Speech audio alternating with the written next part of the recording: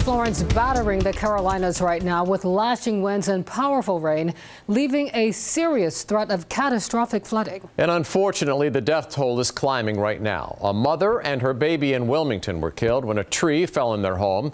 A woman in Pender County died of a heart attack after downed trees kept first responders from reaching her. And we're told two died in Lenoir County.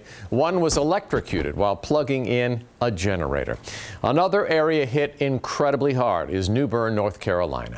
The slow-moving storm dumped a lot of rain, sending rivers through the small town. You can see a boat still tied to the dock, completely submerged, as surrounding rivers rush into the streets. That is where we find 13 News Now reporter Robert Boyd with more on the wild images.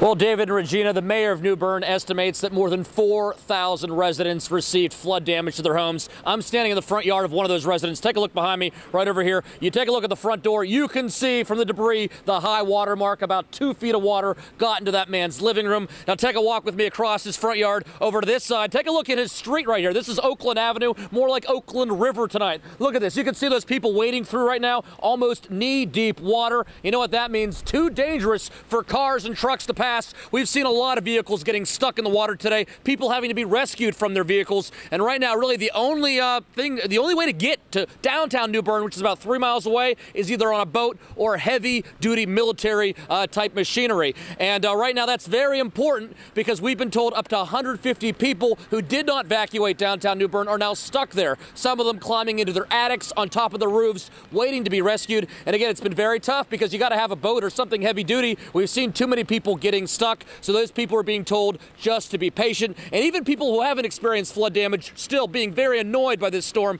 22,000 people in this New Bern area without power right now. But again, it really comes back down to the flood damage. That's what people are most worried about. And you're going to hear from a homeowner right now who came home to, again, all that water in his living room. Real unexpected, yes.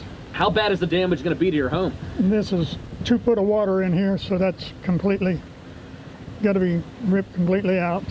The shop over there had about 18 inches of water. Are you worried that your house might not be able to overcome this? No, it'll overcome it. I'll fix it. I, I just repaired it all a few years ago, so we'll do it back. Is this the worst you've ever seen? Yes, here.